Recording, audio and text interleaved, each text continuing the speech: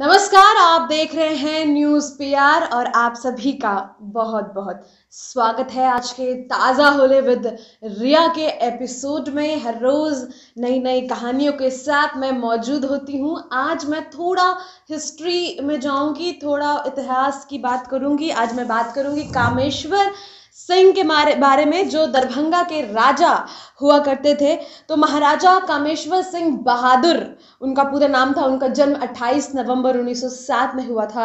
उन्नीस सौ उनतीस से उन्नीस सौ बावन तक वो दरभंगा के जमींदार थे, दरभंगा राज के जमींदार थे। अपनी दानशीलता के लिए वो काफ़ी प्रसिद्ध हुए हैं और जो लोग दरभंगा के हैं, वो बेहतर तरीके से जानते होंगे उनके बारे में। मैंने तो पढ़ा है ये जानकारियाँ प्राप्त की है पढ़कर, लेकिन आप लोग बेहतर जानते होंगे तो प्लीज़ कमेंट करके बताइएगा। तो भारत के रजबाड़ों में दरभंगा राज का अपना ही खास स्थान है। दरभंगा राज बिहार के मिथिला क्षेत्र में लगभग 6,200 किलोमीटर के दायरे में था।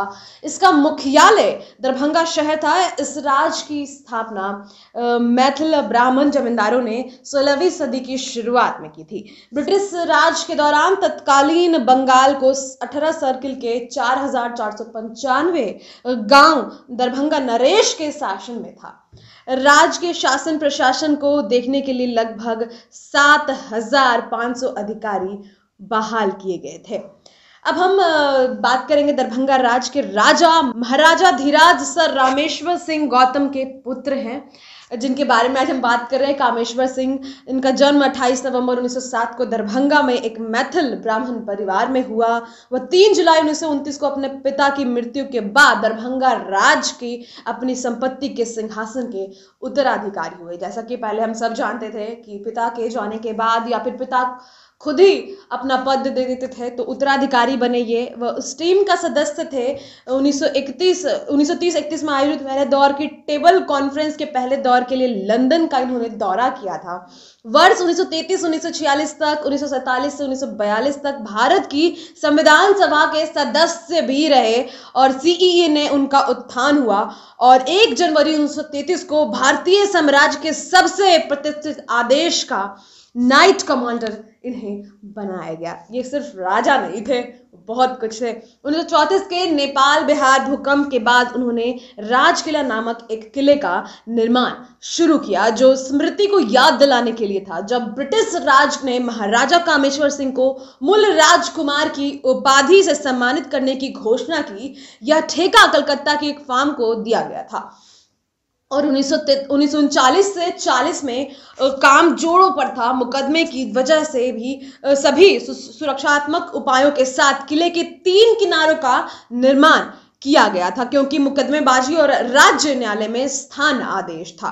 स्वतंत्रता के बाद भारत सरकार द्वारा देशी रॉयल्टी के उन्मूलन उन्मूलन के साथ किले पर काम छोड़ दिया गया था। और दरभंगा का वो किला हम देख सकते हैं तस्वीरों में, काफ़ी पॉपुलर है और वहाँ काफ़ी मंदिर भी है। तो भारत की स्वतंत्रता के बाद उन्हें झारखंड पार्टी के उम्मीदवार उम्मीदवार के रूप में उन्नीस सौ अंठावन में संसद सदस्य राज्यसभा के रूप में चुना गया और उन्नीस सौ साठ में फिर से निर्वाचित हुए और उन्नीस सौ बासठ में अपनी मृत्यु तक राज्यसभा के सदस्य रहे।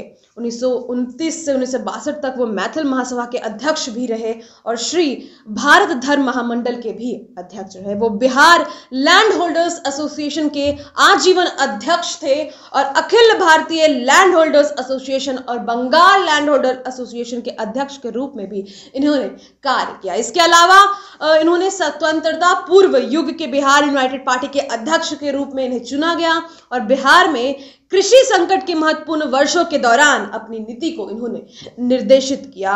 और कामेश्वर सिंह वैसे महाराजा जो पहले होता था, वैसे नहीं थे। काफ़ी अलग थे। राज्यसभा के सदस्य भी रहे। उसके अलावा इन्होंने बहुत सारे कार्य किए हैं। और अगर हम इनके पिताजी का बात करें तो उनका नाम था महाराजा धीराज रामेश्वर सिंह, इनका शासन जो रहा उन्नीस सौ उनतीस, उन्नीस सौ बावन तक रहा। तो क्यों ऐसा था इनका लाइफ ऐसी थी इनकी लाइफ कामेश्वर सिंह बहादुर, इनका पूरा नाम है और दरभंगा में काफ़ी प्रचलित भी है, उनका किला भी है। जो कि हम देख सकते हैं। और ऐसे जितने भी लोग वहाँ से हैं यानी कि दरभंगा से हैं और जो कहानियाँ जानते हैं, उनसे रिलेटेड कुछ भी तो आप कमेंट कर सकते हो। आज के इस वीडियो में इतना ही। कल फिर मिलेंगे एक नई कहानी के साथ। तब तक के लिए आपसे विदा चाहूँगी। धन्यवाद।